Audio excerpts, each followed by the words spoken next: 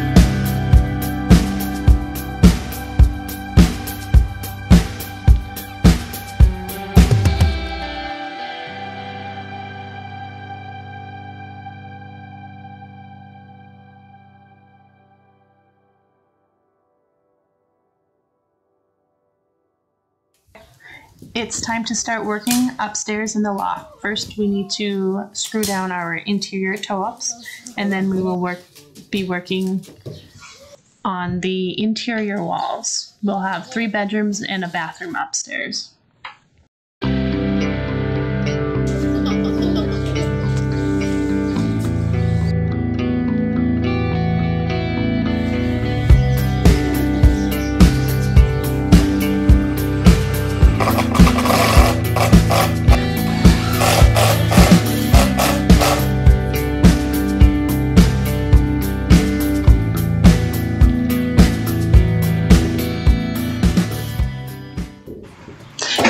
Building these interior walls up in the loft has been the most rewarding part of our build by far so far.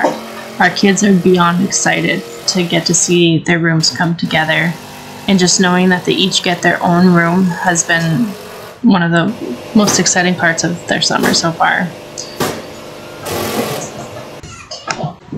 They are our drive and motivation to keep on building with this house and seeing it progress.